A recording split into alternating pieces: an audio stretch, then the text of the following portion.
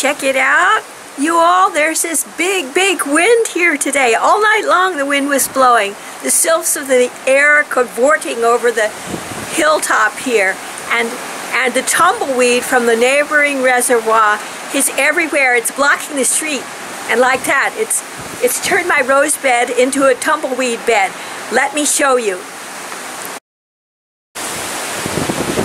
There's a tumbleweed. That used to be a rose bed there. Coming down into the street. Okay, now.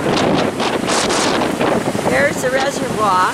And look, there's a tumbleweed piled against the fence. And every once in a while, one jumps over the fence and comes roaming down the street. And it went and covered the entire street here. Nobody can get through without moving the tumbleweed.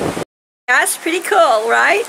Uh, every once in a while I hear a clunk and I have to go look because another tumbleweed has come and hit the back end of my car. Fortunately, no damage yet. The electricity has gone off once or twice. We'll see what happens next. Y'all take care.